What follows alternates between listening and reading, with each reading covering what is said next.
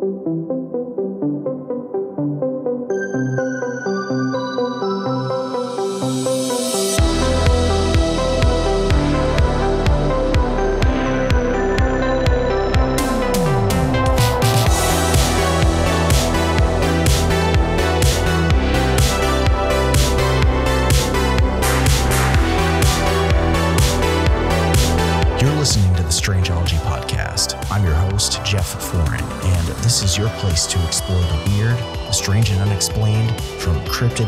the paranormal, aliens and UFOs, forbidden knowledge, ancient mysteries, conspiracies, and more. All right. Hey, everyone. Welcome back to the show, and thanks for hanging out today. Today is a crucial episode if you've been paying attention to anything going on in the UFO UAP realm. Last week was the congressional subcommittee hearing where the whistleblower David Grusch, along with other UFO UAP witnesses from the military, Lieutenant Ryan Graves and Commander David Fravor, gave testimony to Congress members in DC. So I wanted to have a guest on for this episode that really knows his stuff about what's going on and who someone who has been working very closely on getting these stories out. But before I get started, make sure to subscribe or follow the Strangeology podcast on your preferred streaming platform. Or if you're watching on YouTube, please like, subscribe, and click the bell icon for notifications on when new episodes drop. This is all super helpful. It lets you know when there's a new episode available and also helps to push the show out to more people. And I also appreciate if you take the time to leave a review for the show. I really appreciate those five star reviews out there if you're willing to leave one. And if you haven't done so yet, it would be awesome if you did. That's also super helpful with getting the show to grow and get out to more people. Well, summer has been in full swing. It's been super hot, also super rainy, and it actually looks like the coming week for temperatures, uh, it's finally starting to cool off a little bit. As I'm recording this, I actually have the windows open. I'm not running the AC, which is nice. It feels kind of like fall is on just around the corner. So I hope you're staying cool wherever you are and that temperatures are hopefully starting to come down soon. The last couple weeks for me has been nonstop go mode with cleaning up my flooded basement, making sure nothing's been molded out, dealing with FEMA and insurance inspectors and all that stuff. But I think things will turn out okay for where I live. And a lot of people are less fortunate and are still in need of help, financial assistance, and that kind of thing. So I'm going to be leaving the link for the Vermont Recovery Flood in the show notes again for this episode if anyone can donate anything to help.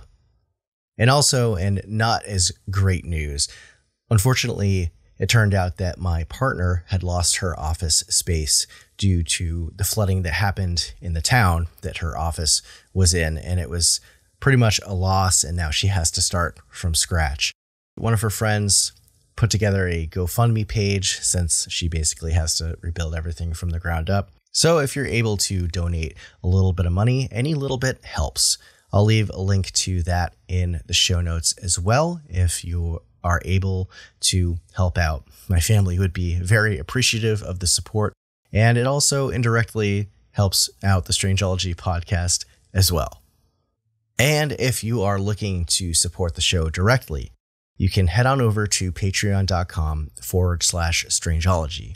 Becoming a member comes with benefits depending on which tier you land on, and some of these benefits include things like shoutouts, ad free episodes, early access to episodes, as well as access to the members only segment of the show, Strangeology Beyond, which is basically like an episode extension. Sometimes it goes on to be an entire episode in and of itself. For my research based episodes, I usually pick a different topic that's a little bit more obscure and try to do as deep of a dive as possible on that. Or if it's a guest episode, guests, if they have the time, we'll hang around for an, an extra 20, 30 minutes and we just kind of have a casual, loose conversation and, and just have fun with it. I've had a lot of really fun conversations with guests before. So definitely something you might want to check out. There's also things like periodic exclusive merch, discounts to my Etsy shop, VIP room access on the Strangeology Discord for some behind the scenes stuff and also updates. And I would also like to welcome the newest members of the Strangeology Patreon, Scott and Larry. Welcome aboard, guys. And to all members, past, present, future, you're all amazing, and your continued support helps keep the lights on here at Strangeology HQ. So thank you all so much. And if you want to join this ever growing community of fellow lovers and enthusiasts of the strange and unexplained, and you want to support the show and everything else I do, you can check it out at patreon.com forward slash strangeology. All right, that's enough of that. For this week's episode, I had a really eye opening discussion on the current state of affairs, all about UAPs or UFOs with Micah Hanks. I first met Micah, I think, at the very first Cryptid Con I went to in Lexington, Kentucky back in 2021. And he must have been making the rounds and he stopped by my table and introduced himself. Super nice guy. And since then, I've wanted to have him on the show as he's involved with a lot of other podcasts, research, and you'll find out all about him. And the timing was a perfect storm for this with the recent revelations coming from this whistleblower, David Grusch, and the testimony and congressional hearings that just happened. So I think you're really going to enjoy this episode. So sit back, relax, grab a snack, your favorite beverage, and let's just get into it.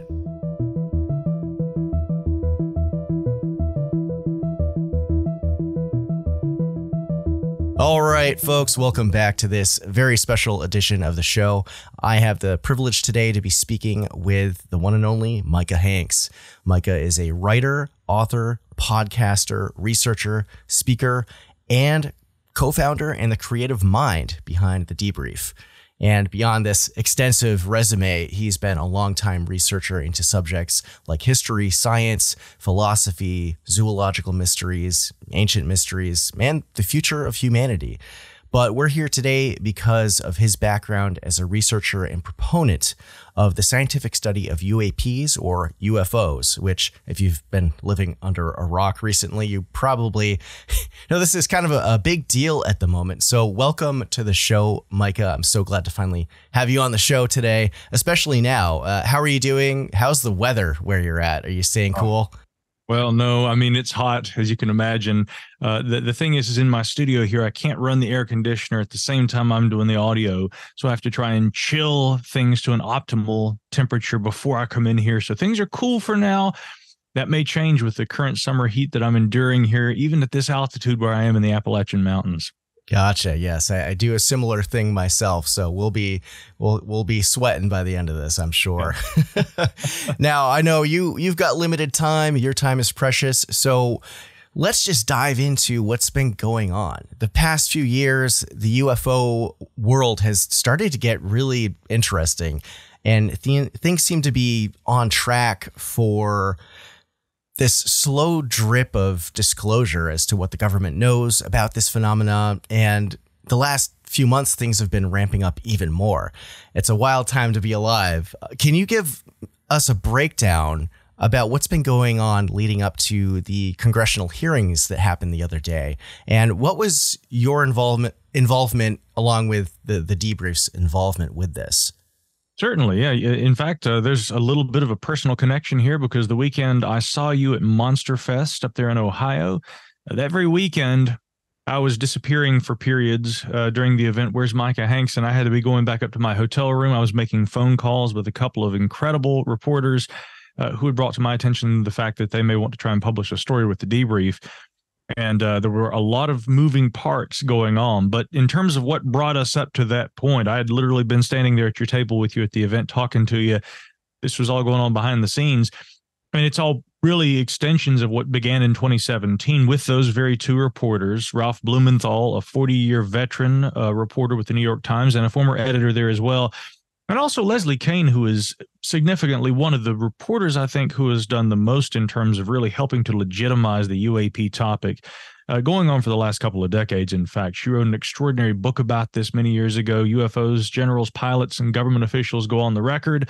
And that was really kind of this uh, this opening statement that, hey, there are a lot of officials who have had experiences with this phenomenon. This is not just something that randos out there, you know, in the woods or what have you in the desert see at night and think that they've had encounters with. This is something that seems to be a real phenomena. Some of it appears to represent a technology. Government officials who have had these experiences do not know the provenance of said technology and uh, they are concerned about it, but there also doesn't appear to be openly a whole lot being done. Fast forward to 2017 with the publication of the article by Ralph and Leslie, along with Pentagon correspondent to the New York Times, uh, Helene Cooper. That article, of course, kind of once again reinvigorated the modern UAP debate with revelations about taxpayer funding. Uh, and part of this, of course, acquired in no small part with help from uh, Senate Majority Leader in the past, but of course, the late uh, Nevada Senator Harry Reid. They were able to obtain funding for a program that was described in the Times in 2017 as ATIP, or the Advanced uh, Aerospace Threat Identification Program. And the uh, former director of that program, as the Times reported at that time, had been Luis Elizondo, uh, who had only recently resigned uh, and had become associated with a outfit uh, of all people, spearheaded by you know guitarist of Blink One Eighty Two, Tom DeLonge, to the Stars Academy of Arts and Sciences. Right. Uh, Elizondo was joined by a number of other former government officials, including Christopher Mellon, uh, in that endeavor. Now, since that time, we've learned that the article, although it referred to ATIP, ATIP was actually a unclassified nickname for a Defense Intelligence Agency program that was actually called the Advanced Aerospace Weapons Systems Application Program. That's what the ATIP referred to in the New York Times actually had been. AAWSAP is the program that within the DIA that taxpayer money actually went to. And there had been quite a bit of confusion about what the Times reported and then later revelations. Um, but in any case, without getting really lost in the weeds about all of that, following the clarification about which program got the funding, who had been involved, because again, significantly, Elizondo had had no responsibilities with AAWSAP, and he had said that himself. But he clarified later that the A tip that he had been the director of within the DoD had been an informal initiative that essentially just inherited all the UFO data that had been collected by AAWSAP. And Elizondo said, We just kept that nickname, that unclassified nickname we carried that right over for that informal Pentagon initiative. And I can assure you, there are some who try to dispute whether the initiative ever existed. After Elizondo left government, it was taken over by a gentleman who actually had known and worked alongside Elizondo while he still worked in government, but that was Jay Stratton. Uh, Stratton and Elizondo, we may come back around to this, but they issued a joint statement last night about some of the things that came out in the recent hearing. Uh, but I sat and spoke with Jay Stratton and I asked him, I said, you know, had Lou indeed worked with that ATIP program, as he says he has. Did you know him in that capacity? And Stratton said, absolutely, yes, that's who Lou was and what he did. And that initiative, of course, continued really a multi agency interdepartmental task force drawing from a number of different areas in government. And eventually, it was formalized and given a name in 2020, and that became the UAP Task Force, uh, which was the direct predecessor to what we now have, the All Domain Anomaly Resolution Office. Now, that's a DoD program. Uh, it's got an entirely different staff. It's directed by Dr. Sean Kirkpatrick, uh, who's got quite a storied career in intelligence and working for the Pentagon. But all of these developments are really what preceded what we saw in June. When you and I were at that event up in Ohio, I've been talking with Kean and Blumenthal, who in subsequent articles for the New York Times beforehand and now for the debrief, they've continued to build onto this investigation, this ongoing investigation into to what extent the government's been involved in UAP studies, what information has been recovered, what information maybe is being withheld, and to what extent uh, there perhaps is evidence of something truly extraordinary in government holdings. This article is probably the most significant in terms of moving toward bringing those kinds of claims forward because it featured the testimony of David Charles Grusch. Uh, he is a former intelligence official who worked with the National Geospatial Intelligence Agency most recently, but before that, the National Reconnaissance Office. Um, and that actually, I believe, in his reserve capacity within the U.S. Air Force. But while working with the NGA, he had been a direct liaison for that agency to the UAP task force during its time in operation. And he said during that time, that in addition to looking into UAP, which was not something he'd been doing beforehand, it wasn't a previous interest of his. He said he was brought in based on his intelligence career and his expertise, and that confirmed to the debrief by multiple sources also during our vetting process, which again was hectically all going on that weekend up there in Ohio, but uh, behind the scenes at that point. But indeed, it was confirmed to us. We brought that individual in according to those who had worked along with him. He didn't have prior knowledge of or experience investigating UAP. And that's important because what he says he found while working in that capacity was lots of people started talking about a program. They said this program is not something that is publicly known by any stretch of the imagination, although rumors have existed for a long time. Jeff, you know this, I know this. Um, he also said that and this coming out in the hearings the other day that there were 40 individuals that he spoke with that helped confirm the existence of this program. And that was first revealed by my publication, The Debrief. I'm the editor in chief, of course, a creator and co founder of that website. Uh, and when we published those, ex- again, by nature, extraordinary claims on June 5th, it was quite explosive.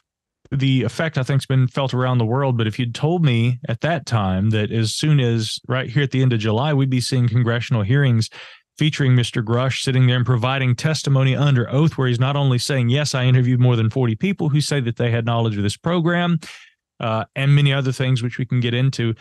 I probably wouldn't have believed you. And this is an incredible uh, example, I think, of citizen action at work. You know, the uh, the investigation has yet to give us all the full context for what Grusch has said and and and the claims that have been made in his intelligence community inspector general complaint you know that investigation's ongoing we've got to wait and see what the outcome of that is. But given the nature of these claims if any of this if any small portion of it ends up being true and accurate to the degree that grusch says that he believes it is we're dealing with a huge story potentially one of the biggest of all time. Yes yes absolutely.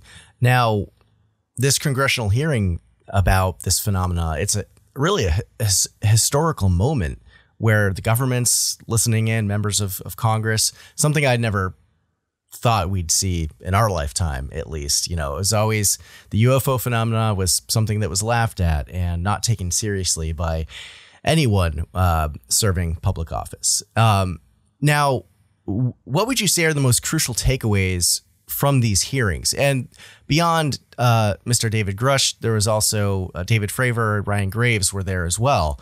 Uh, what did they um, offer to you know their their testimony with this whole thing? Yeah, good question. Of course, there was so much public attention put on David Grusch, and rightly so. But it's also important to point out that Grusch alluded to some unsettling experiences he had had, and there's been a little bit of talk about that. My interpretation there is that he was referring to reprisals that he has experienced since coming out about these things or since having learned about them. He said that there had been some in government who had placed pressure on him, maybe even some threats. And he said that he and his wife had had some unsettling experiences. We actually reported that at the debrief. And I think a lot of people have been saying, oh, he's an experiencer. He's had an encounter.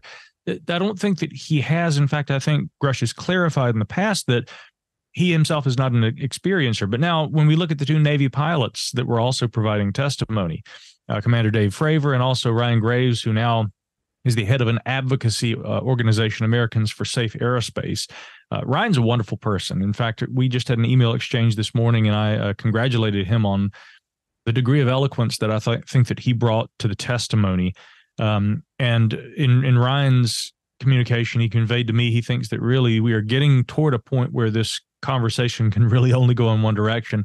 I hope he's right on that point, and that's in large part thanks to to people like him and Fravor, who I also would call whistleblowers in the sense that they came forward and they spoke publicly with the media about experiences they had while serving in active duty uh, as U.S. Navy pilots. Um, my understanding is that Graves had learned of experiences that were direct observations or experiences that members of his squadron had. Whereas, as we know, Captain or rather Commander David Fravor, I mean, he had actually been the commanding officer of the Black Aces and directly observed the so called Tic Tac in 2004. Uh, he was one of multiple witnesses to that, including a pilot, actually a weapon systems officer named Chad Underwood, who also, I believe, now is a commander. Uh, but uh, Underwood filmed that object using the Raytheon's ATFLIR targeting pod, and that's one of the three famous Navy videos depicting UAP we're all familiar with, the so-called Tic Tac. And I personally have heard every explanation for that video, ranging from that it's a distant 747 to possibly a bird, possibly some sort of an instrumental failure with the ATFLIR.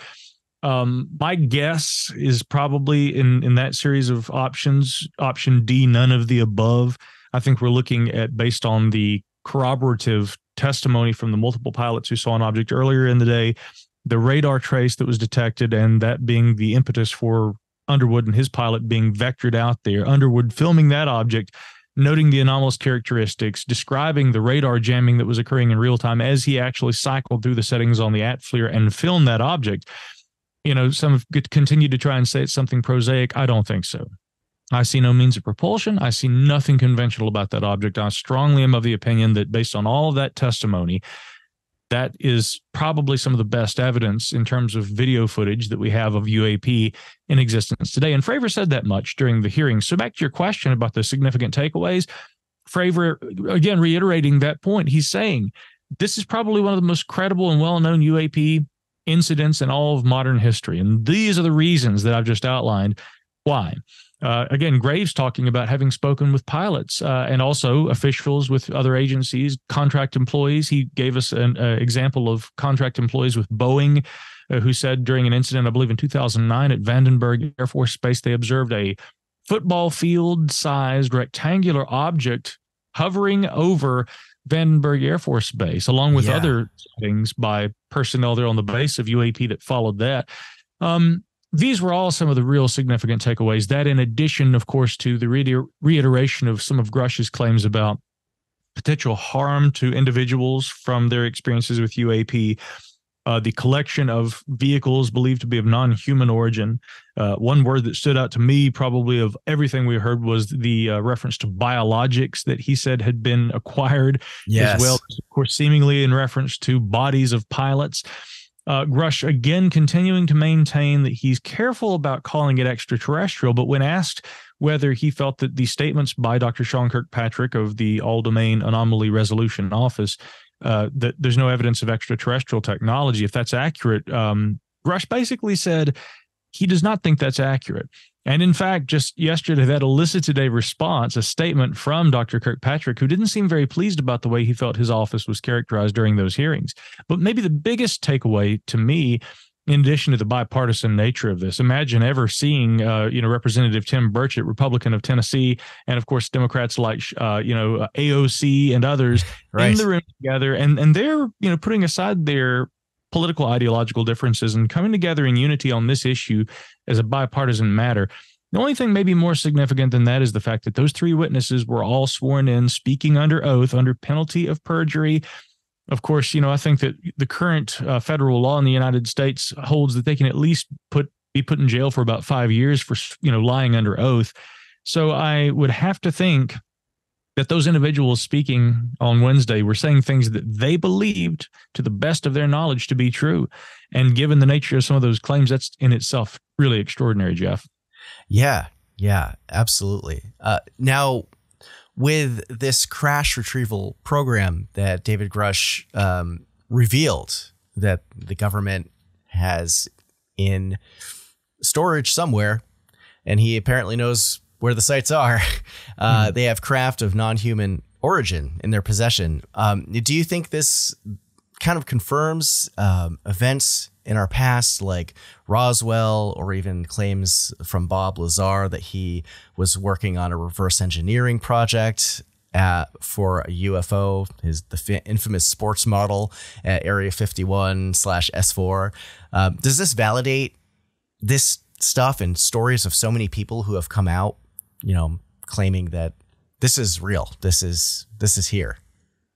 You know, the problem, I guess, with Grusch's narrative, uh, the claims that he has made, is that he says that there are, you know, hundreds of documents, and that these convey things that he was told. He says he's of course seen some imagery as well, but that he hasn't seen any physical evidence that, you know, is is proof. We have to make the distinction between evidence and proof. People often say there's no evidence of anything anomalous with UAP. I would beg to differ. I would say, yeah, look at that Tic Tac video, look at a lot of these different things, even look at some of the witness testimony. Anecdotal though it is, those are all evidence, but none of them by themselves constitute proof, something that we can take and look at in our hands and say, okay, well, we can't, you know, deny this anymore. Now we have to acknowledge the reality. I do think you get to a point where if there's an abundance of evidence and if that abundance of evidence can be deemed credible it strongly points you know toward the likelihood of there being a truth a provable truth, but we haven't got that proof yet. Um, and that's, I think, the issue with Grusch's claims. He doesn't say that he's seen that proof either, but he believes he's seen a whole lot of credible evidence. And a lot of this is classified information and it's been provided now to the inspector general. So, you know, in terms of whether this validates past claims, again, those in the for instance, Bob Lazar, you mentioned, you know, he claims to have worked at a facility called S4, you know, associated with the famous Area 51. He says that he was not only knowledgeable of a wreckage retrieval kind of program, but that he worked on these retrievals on the reverse engineering, trying to understand these technologies.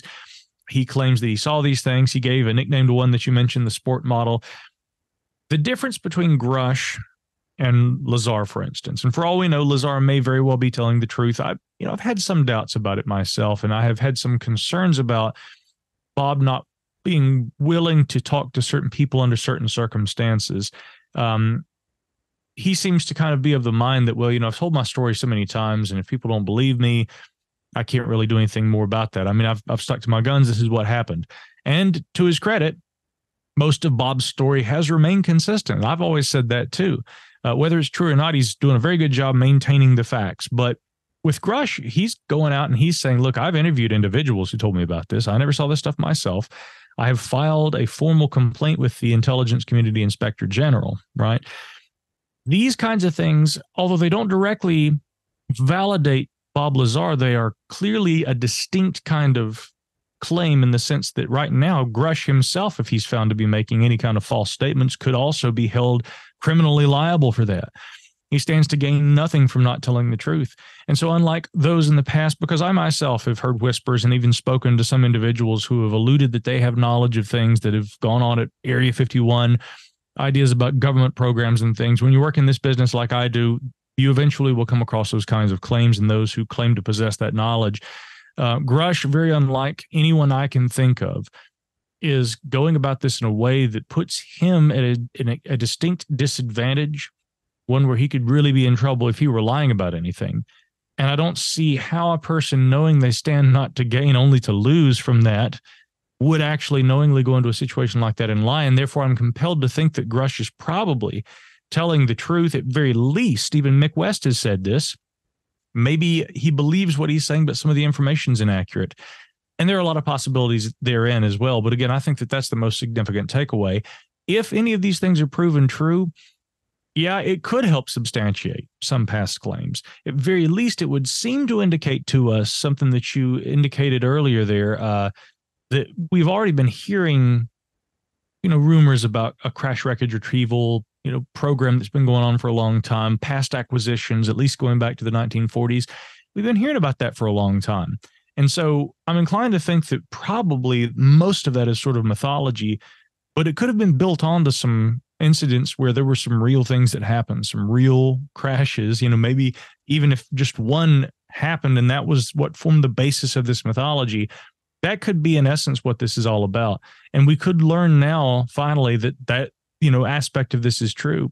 So maybe not all the old claims would be corroborated, but we certainly could find that there was more truth to some of them than many believed. Right, right. Yes. Uh, grain of truth in, in uh, a lot of different mythologies. Now, yeah. it's, uh, you know, interesting you mentioned Mick West, who is a well known skeptic in, in the UFO community, of course. Uh, but since the other day when the hearings happened, I've been seeing so many people um, on social media elsewhere that are like, oh, government just confirmed aliens, uh, no big deal.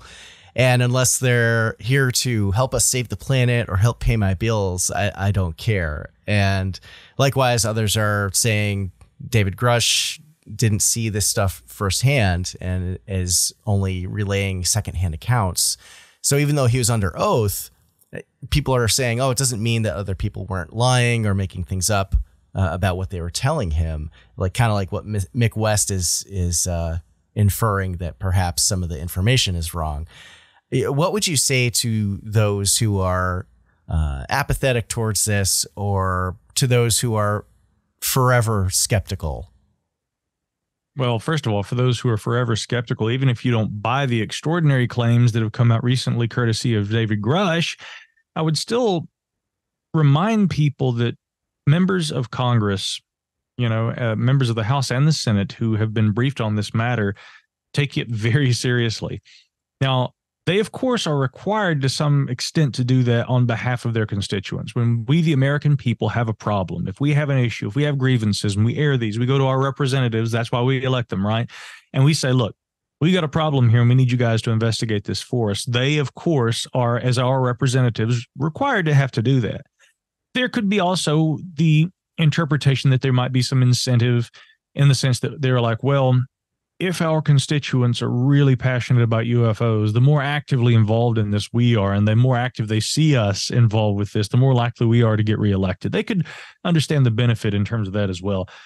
But without removing those possibilities, acknowledging them, but really seeing the bigger picture here, my interpretation is that in likelihood, those who are members of these committees, these subcommittees, like the one that held the uh, hearing the other day, they probably have been shown enough credible information collected through governmental channels that compels them to think that there's a reality to some aspects of this phenomenon. And in fact, if someone thinks I'm merely speculating, I'll uh, call to attention the uh, comments made by Representative Matt Gaetz of Florida the other day, where he's saying, listen, you know, we went down there uh, I think it was uh, Eglin Air Force Base. He said that Representative Burchett from Tennessee and also Luna from Florida came with him uh, this was the incident that they'd been talking about, where they said that they'd basically just been told by a, uh, you know, Air Force uh, colonel, I believe, just you know, we're not going to show you all this stuff. Gaetz said I was there present during this incident and this showdown took place.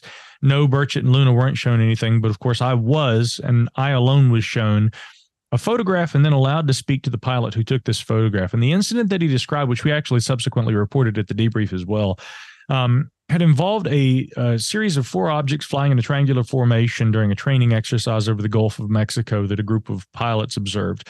One of the pilots attempted to move in close to try and see these objects, and as he attempts to uh, allocate uh, his, or rather to to train his camera on the uh, one of the objects, which appeared orb-like, he did manage to get a photograph but he said that some of his uh, sensor capabilities on board the aircraft began to fail as he neared the object, which actually is something that's commonly reported. Uh, in fact, the uh, national, um, uh, well, actually, there are a number of organizations that have looked into this, but maybe not going through them in in uh, uh, chronological order. I'll just reference NARCAP, Ted Roe, director of NARCAP, um, National Aviation. Um, oh gosh. Uh, I'll have to get the acronym together here in a moment. There's so many acronyms. It's hard to, remember all of them. yeah, Ted, I'm just a huge fan of Ted Roe and NARCAP. But anyway, so NARCAP did an entire analysis of actually a series of UAP reports involving instrumental disturbances, where uh, basically pilots who were in near proximity to UAP or had had almost near collisions with them, they came close enough to the UAP that various different onboard systems were temporarily taken offline, like gyroscopes, altimeters, um, you know, other kinds of, of of technologies and avionics on board these aircraft.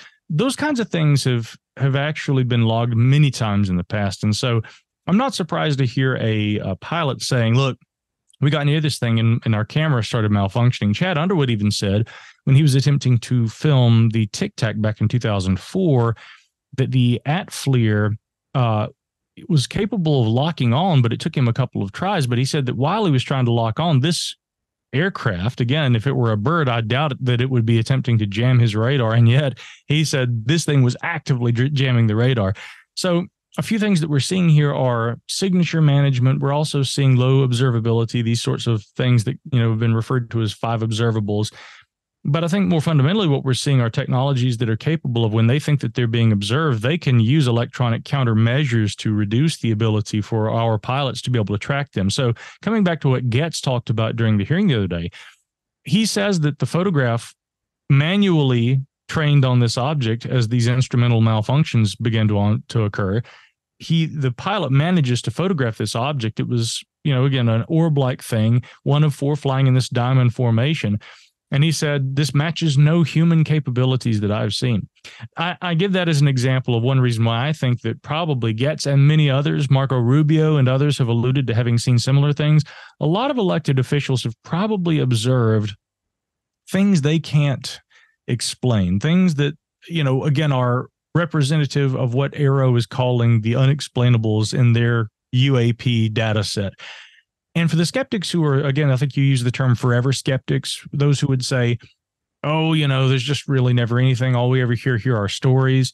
I think what they're missing is those elected officials who are pushing for these UAP hearings and these investigations and who are drafting legislation, no less among them now, Senate Majority Leader Chuck Schumer with the amendment, which again, the title is explosive in itself, the uh, Unidentified Aerial Phenomena Disclosure Act of 2023 with the passing of this to, as a amendment to next year's NDAA, we're seeing a lot of lawmakers who appear to have been shown videos, images, or other data that's probably similar to what Gaetz has described seeing.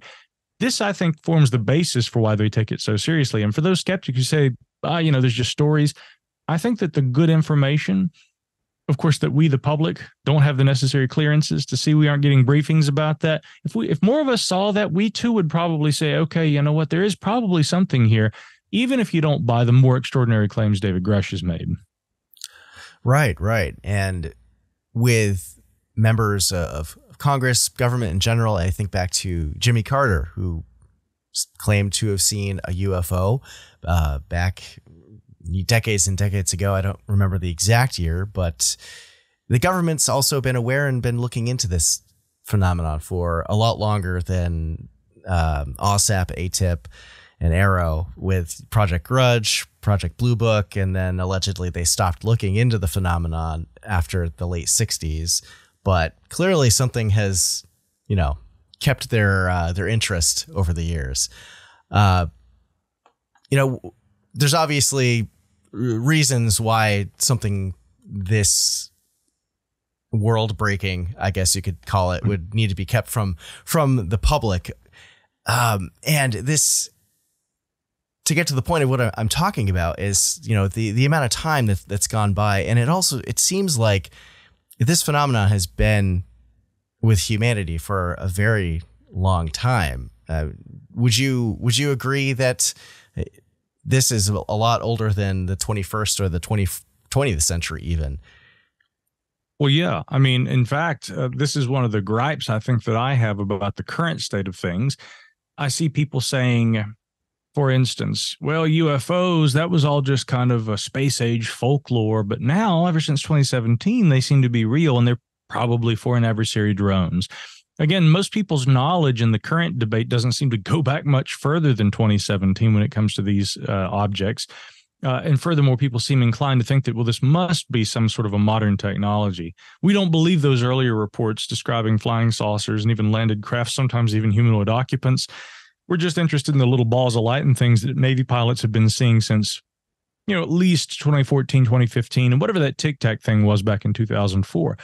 Again, the organization that I mentioned earlier, and by the way, NARCAP, National Aviation Reporting Center on Anomalous Phenomena. Again, among the many acronyms we have to remember, another one, of course, being NUFORC, the National UFO Reporting Center, and then, of course, NICAP. A lot of them are similar, but that was the one I've been referring to. National Aviation Reporting Center on Anomalous Phenomena for decades has been referring to these things as UAP. Again, I've also seen a lot of recent commentators trying to say that, well, the government started calling these things UAP since 2017 that's not accurate at all. I mean, even myself in an article I had written at my website in 2015, Jeff, I had said I refer to these as unidentified aerial phenomena, and I was by no means the first person to do that. Again, go back, you'll find articles much earlier than mine at the NARCAP website.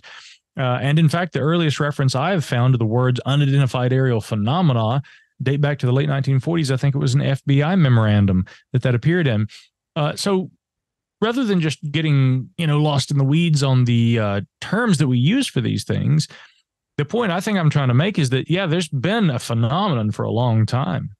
And in fact even earlier than 1947 that was another uh, in my view misunderstanding about modern ufos and the phenomenon when it arrived. People for years have tried to say after the second world war we dropped bombs you know at hiroshima and nagasaki and um, course, you know, bombs are on a lot of people's minds with Oppenheimer in the in the in the theaters right now. But it says we enter the atomic age.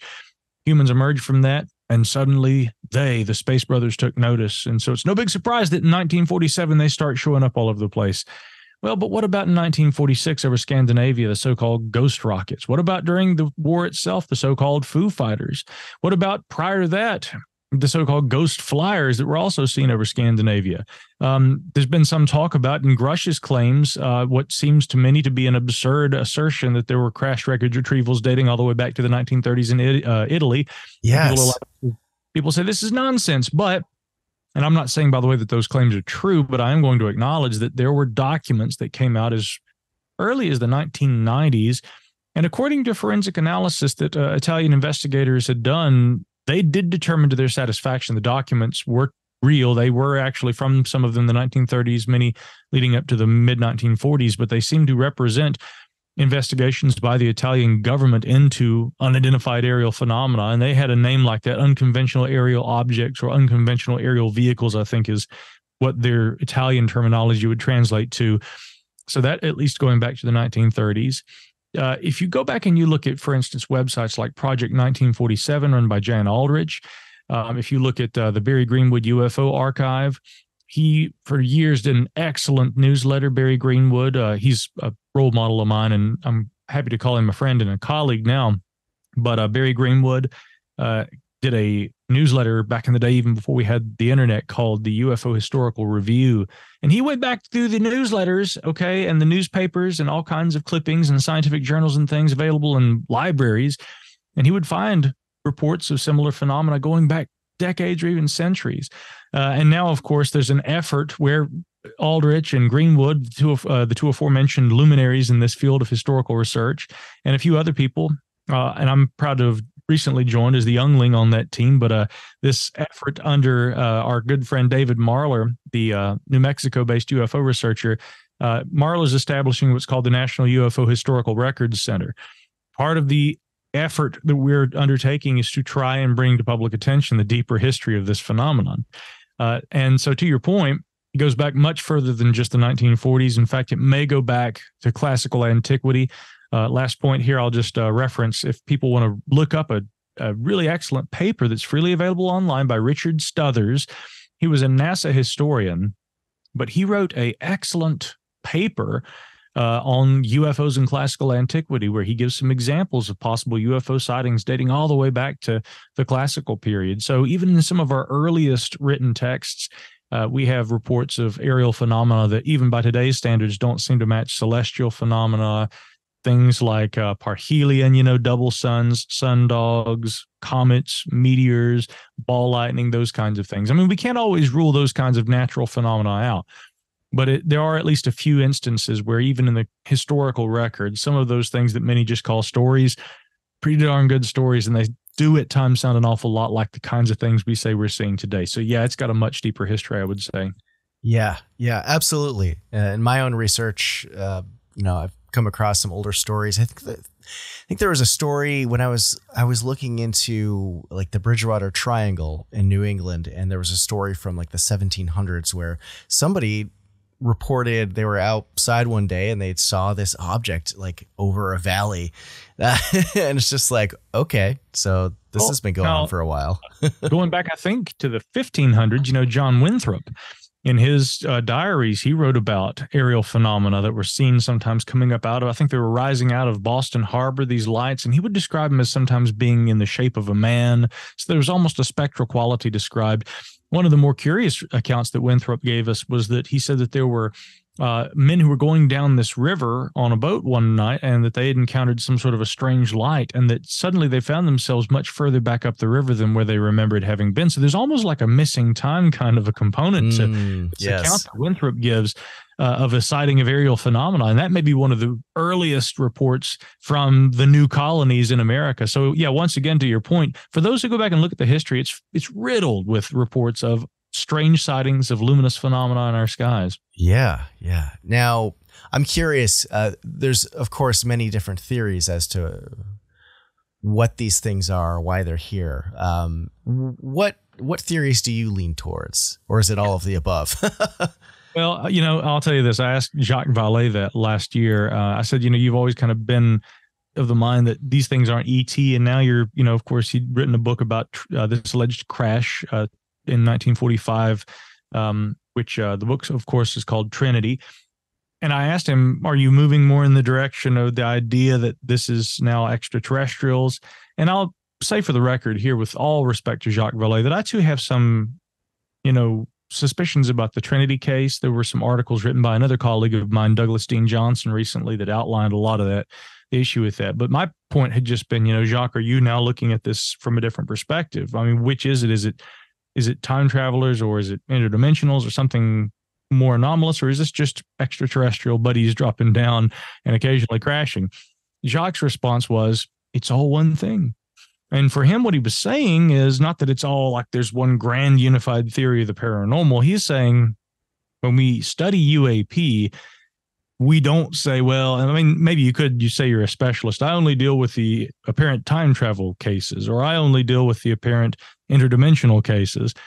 Jacques saying, when we talk about unidentified aerial phenomena, we don't really know what it is. But even Dr. Sean Kirkpatrick of AARO has recently said during an ABC News interview uh, first, the misconception is that these are all one thing and that all of them are extraterrestrial. He says neither of those statements are true.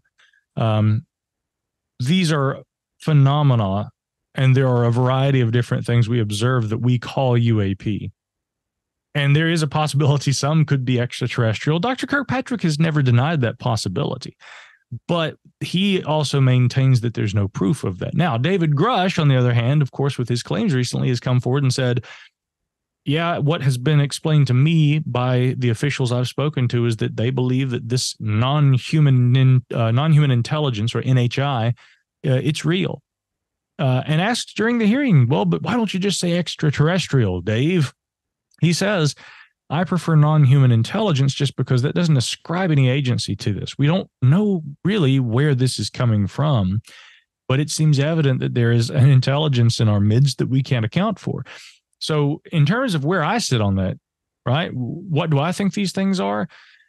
I know it frustrates people. I've been called a fence sitter, Jeff, but uh, but for me, the uh, it's important if you're going to look at this scientifically not to lead with presumptions. And as soon as you start saying well i don't know but i'm just going to say i think it's this it's fine to do that as a hypothesis right? It's fine to say here is my theory and i'm now going to test that theory. My theory is that these are the more scientific hypothesis would actually be my theory is that ufos are not extraterrestrial and then i'd have to try and disprove that hypothesis because a lot of people forget that in science there's a necessity for having a test for falsehood.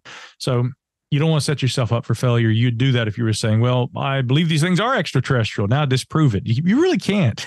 is the thing. You might have a better job or better time, uh, at least at least more uh, success disproving that hypothesis. In other words, saying, okay, I have found no proof that aliens are not extraterrestrial, and therefore let's look at what the evidence seems to represent. But I'm open to that possibility. So, all that said, I try to think scientifically without leading with presumptions and making assumptions that I can't back up.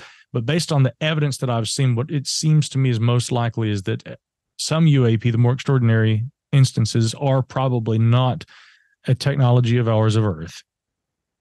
And if I were to characterize that and give it a name, I'd probably do like what David Grusch did and say, i will go with non human intelligence for now, but I'm very open to the possibility, pending further evidence, that, yeah, we have been seeing extraterrestrial visitation. And the last thing I'll just add to that is that there is some anecdotal evidence in the form of uh, eyewitness accounts that is suggestive of that.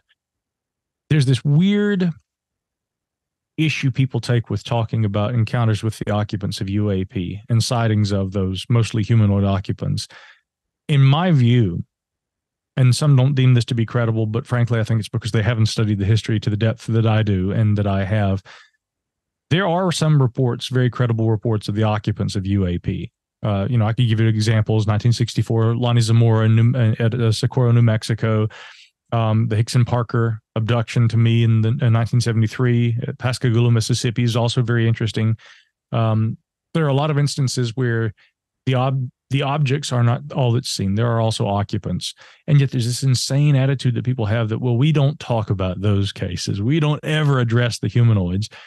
I think we're doing ourselves a great disservice. And if we fail to look at some of the data just because it seems extraordinary, it's probably only only going to hinder us from understanding in the full context what this phenomenon represents. But those cases to me do point to the idea not only of an an intelligence that doesn't appear to be ours, human, but maybe that we're looking at something. Maybe it's autonomous AI. You know, may not be biologics, as Fravor, or I'm sorry, as David Grusch said. But in any case, it doesn't appear to be something we made. Now, one other possibility, though, that I have entertained in the past is that in the wide range of different things UAP might be, some might be what I was describing there, maybe extraterrestrial non human intelligence, either mechanical or biological, or some combination. But I'm also open to the idea that we could be looking at something that's atemporal, you know, the idea of time travel. Some people are like, look, man, getting from point A to point B, yeah, but time travel, don't give me that mess. That's impossible. Well, again, you're only thinking, you know, three dimensionally, Marty, because if you if you if you assume that far enough in the future, humans or any other intelligence is able to harness time and to use it and to bend it and to shape it such that they can travel through it. Doesn't have to be us doing that but if at any time in the future any intelligence becomes capable of doing that that option would be on the table too. So it could even be some weird combination of time travelers and extraterrestrials right. you know what i'm saying so, yeah. so I'm, I'm open to all those possibilities but if I lean toward one, I would have to say that clearly there seems to be a non human intelligent component in some of those cases based on those witness testimonies. Yeah, yeah, agreed. agreed. I know I've rattled on. That was a very lengthy answer, but it's it's a complex issue. So. oh yeah, for sure, for sure. Well, this has been a really fun conversation, Micah. Um, can you tell my listeners the best place to find you on the internet? Absolutely, yeah. MicahHanks.com is my personal website. Uh, and of course, I also am editor in chief at The Debrief, which is just thedebrief.org. Uh, of course, all our news is made available right there and free to the public where they can read all about this. And you can go read the story that brought David Grusch's claims to the public for the first time on uh, June 5th by Ralph Blumenthal and Leslie Kean. Excellent reporting that they did for us and of course, a lot of recent uh, congressional coverage. In fact, Tim McMillan and I are right now at this very moment working on another follow up piece that people can look forward to in the days ahead. You heard that here first on Strangeology, so there's a little exclusive for you.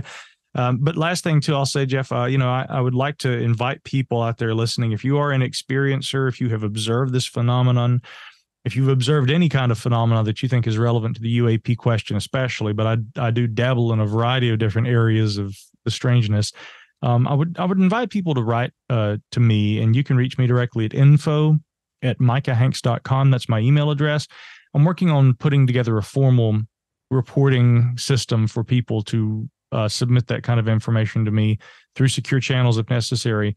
Uh, because I think it's become incumbent upon us as researchers to do more of that. I, I, heard Ryan Graves during the testimony he gave the other day talking about pilots feeling they don't have a place to go with this. Now, many have been going to the aforementioned NARCAP organization for years and National UFO Reporting Center as well. But we need to be collecting more data so that we can understand this phenomenon. And so if you have had an experience, please info at micahhanks.com. I'd like to hear from people out there in your listenership too. Great. Thanks. Well, thanks for again for coming on to the show today, Micah. Um, members, please stick around after this short break for Strangeology Beyond. And for everyone else, we'll catch you next time.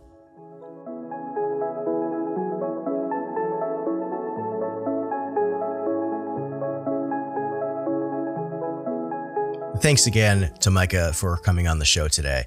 The future is going to be very interesting indeed in the world of UFOs and unidentified aerial or anomalous phenomena. And it's just a weird time to be alive. And something like this isn't anything I ever thought we'd be seeing in our lifetimes. And I know that there's this general sentiment out there, this kind of apathy, or the government said, UFOs are real, so it must be a psyop, and I don't believe it, or it's something like Project Bluebeam.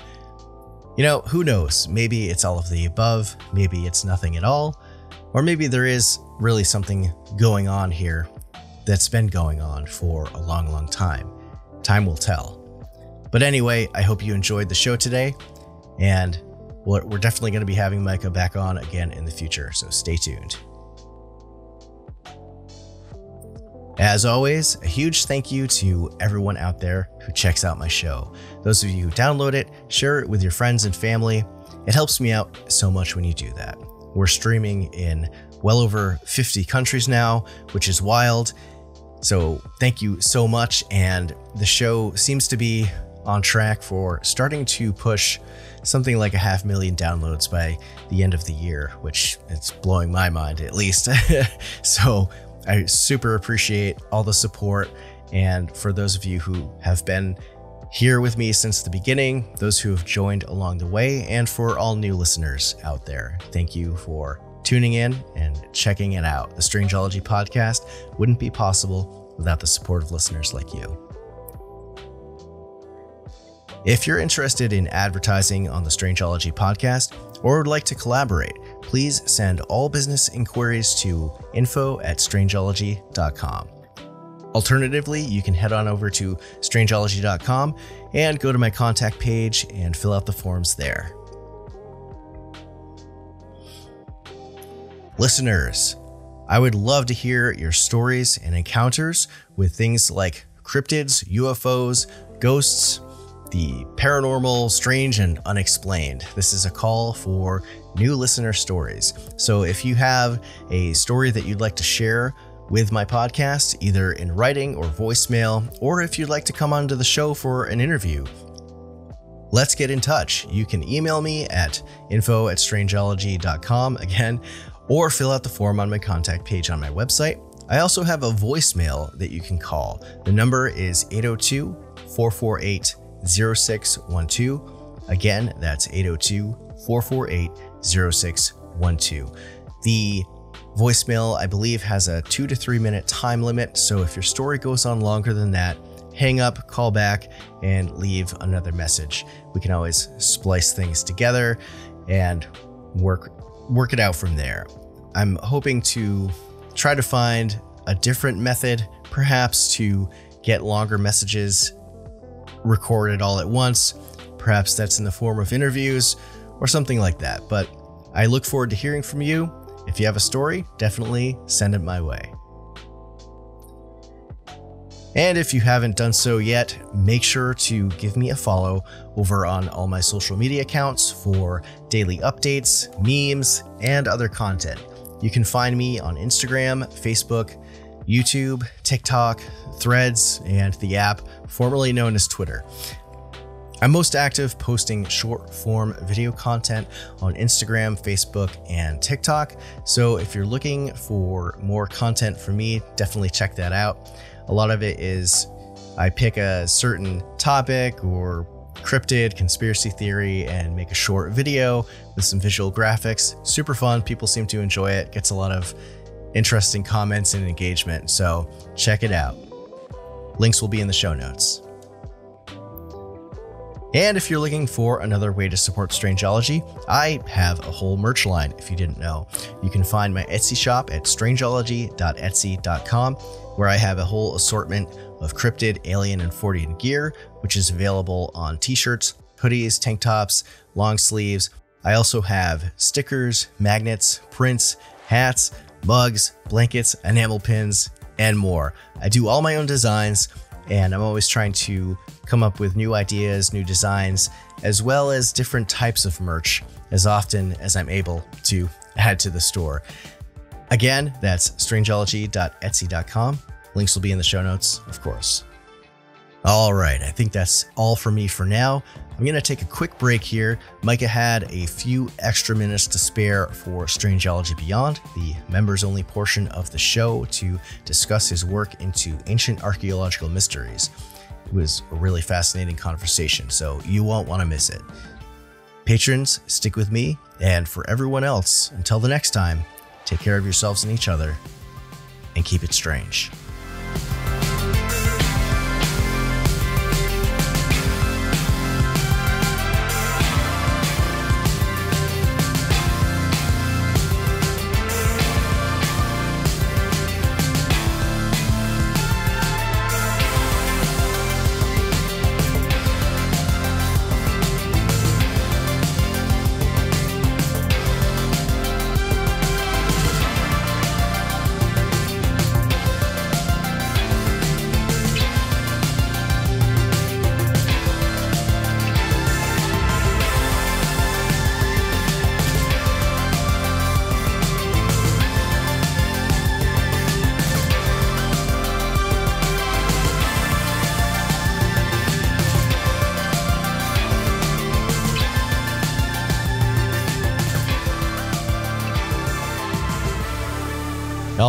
Welcome back to Strangeology Beyond for all you members for this exclusive segment of the show. Thanks again, Micah, for hanging out for a little while longer. You're a very busy man. You got a lot going on.